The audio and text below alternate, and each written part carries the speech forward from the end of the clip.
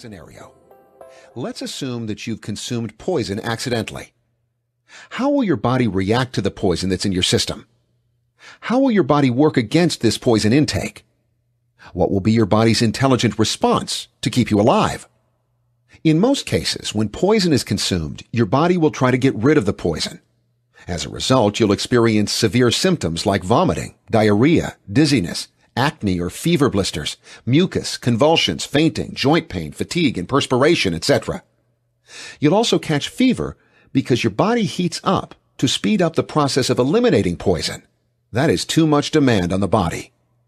The body also wants to sweat the poison out.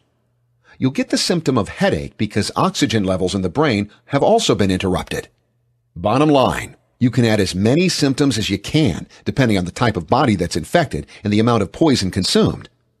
The truth of the matter is that these are nothing but symptoms when the body is infected with poison in the system.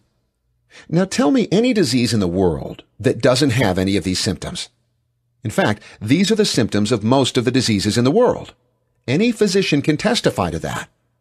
What does this all mean? This means that symptoms and so-called diseases are nothing but the functions of an intelligent mechanism called the human body trying to get rid of the poison inside of it.